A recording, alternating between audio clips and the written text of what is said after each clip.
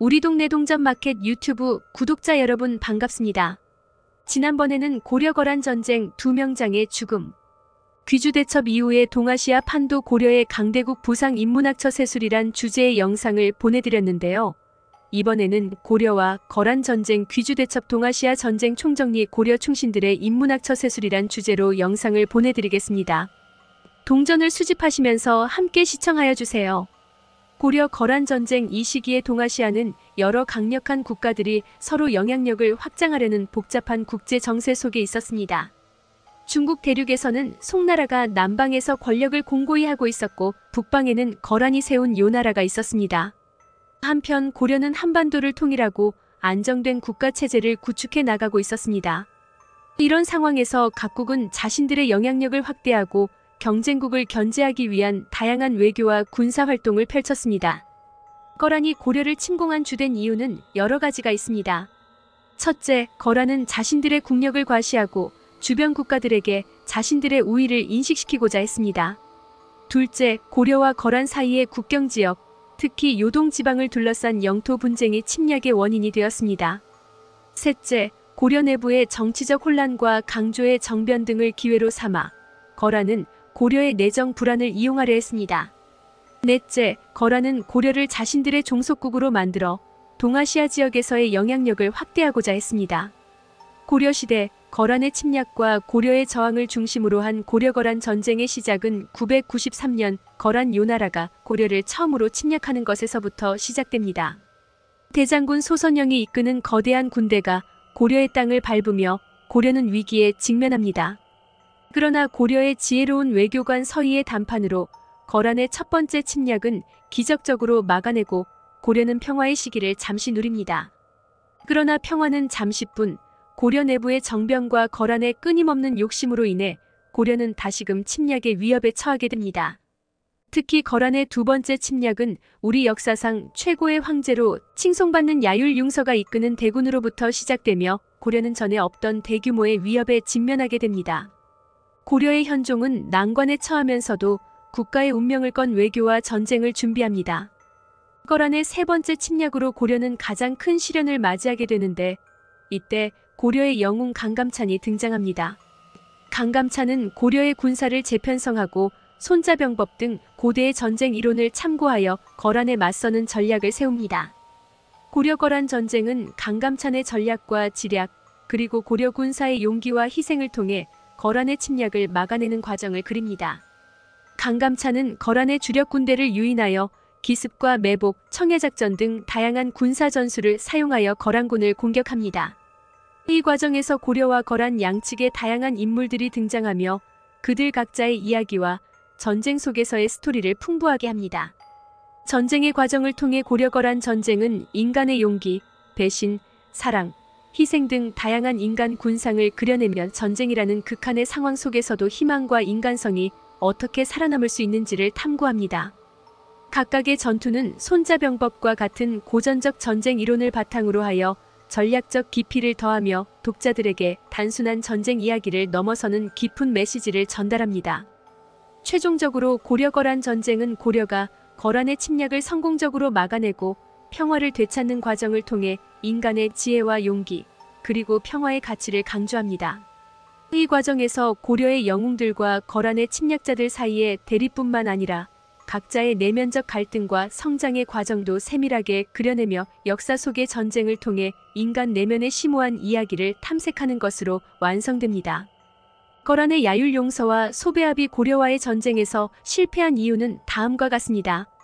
고려의 강력한 저항 고려는 강감찬과 같은 뛰어난 군사 지도자들의 지휘하에 거란의 침략에 강력하게 저항했습니다.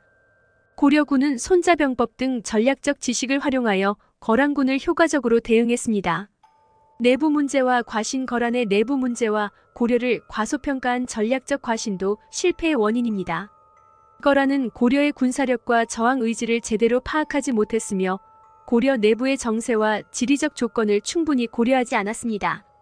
지리적 조건 고려의 지리적 조건과 척박한 물자, 공급 루트는 거란군의 진격을 어렵게 만들었습니다.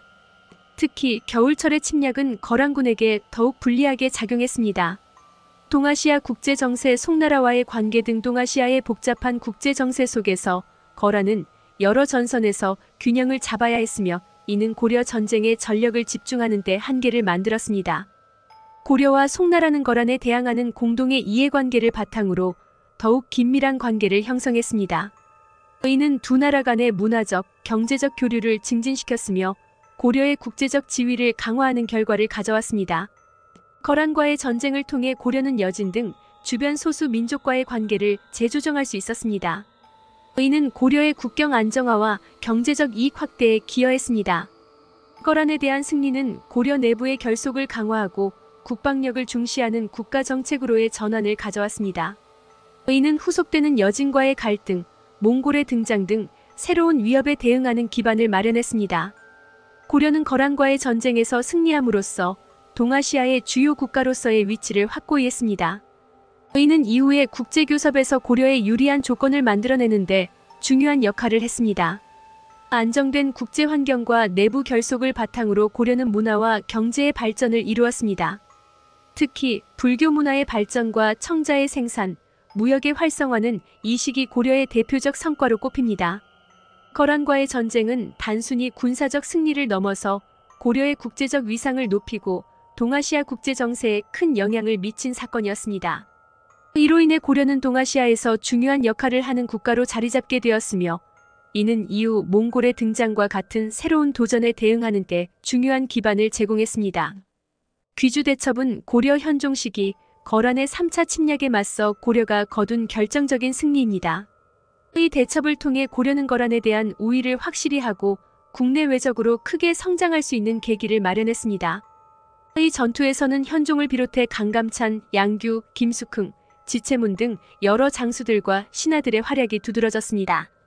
고려 현종의 리더십 현종은 거란의 침략에 대비해 국가의 군사력 강화와 내부 결속을 다지는데 주력했습니다. 그는 전쟁의 어려움 속에서도 백성들을 독려하고 장수들에게는 자율성을 부여하며 신뢰를 보냈습니다. 현종의 이러한 리더십은 국가를 하나로 결집시키는데 중요한 역할을 했습니다. 강감찬의 전략과 귀주대첩 강감찬은 고려의 대장군으로서 귀주대첩의 핵심 인물입니다. 그는 뛰어난 군사 전략과 지략으로 거란군을 유인하여 귀주에서 대승을 거두었습니다. 강감찬은 거란군의 이동 경로와 지형을 정확히 파악하고 병력을 적절히 배치하여 거란군을 포위 공격했습니다. 이러한 전략은 고려 군의 전투력을 극대화하고 거란군을 크게 무너뜨리는 결정적인 요인이 되었습니다.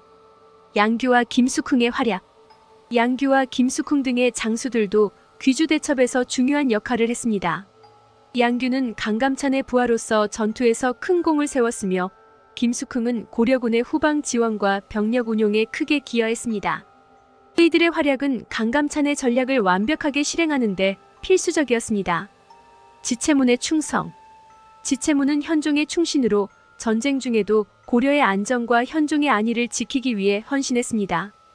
그는 내정을 담당하며 전쟁으로 어려움을 겪는 백성들을 돕고 전투에서 상처받은 군사들을 치료하는 등 후방에서의 중요한 역할을 담당했습니다. 충신들의 처세술 귀주 대첩에서 승리하기까지 현종과 여러 장수들, 신하들의 처세술은 고려가 내부적으로 단합되고 외부의 위협에 효과적으로 대응할 수 있게 만들었습니다. 이들은 현종의 뜻을 잘 받들어 국가의 안위를 최우선으로 생각했으며 각자의 위치에서 최선을 다해 고려의 승리에 기여했습니다. 귀주 대첩 이후 고려의 정치, 군사, 문화적 발전은 더욱 가속화되었습니다. 현종과 그의 신하들, 그리고 장수들의 결단력과 지혜는 이 대첩을 단순한 승리를 넘어 고려가 중세 동아시아에서 주요한 세력으로 자리매김하는 기반을 마련했습니다. 국가의 체계적인 강화 귀주 대첩 후 고려는 국방 체계를 포함해 국가 체계의 전반적인 강화에 착수했습니다. 군사 조직의 개편과 국방 인프라의 강화가 이루어졌으며 이는 후에 몽골의 침략에 대응하는 중요한 토대가 되었습니다. 특히 지방 군사 조직의 정비와 중앙 군사 기구의 강화는 고려가 향후 대내외 위협에 보다 유연하고 효과적으로 대응할 수 있게 만들었습니다. 내부 결속과 국민 의식의 강화 귀주 대첩은 고려 국민들 사이의 결속력을 크게 강화시켰습니다. 전쟁을 통해 고려 백성들은 국가에 대한 애착과 국민으로서의 자긍심을 더욱 깊게 느꼈으며 이는 고려의 정체성을 강화하는 중요한 요소가 되었습니다. 현종과 그의 신하들, 장수들은 백성들과의 소통을 강화하고 그들의 복지를 위해 노력했으며 이는 국가의 안정과 발전에 긍정적인 영향을 미쳤습니다. 문화적 번영 고려는 귀주 대첩을 계기로 문화적으로도 크게 발전했습니다.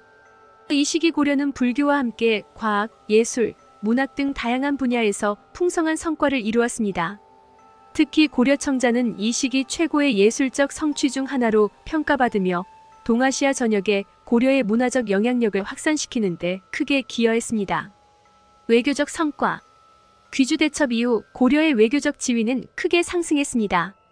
고려는 중국 송나라와 더욱 긴밀한 관계를 맺었으며 여진 등 주변 민족과의 관계도 재정립하여 안정적인 국제 환경을 조성했습니다.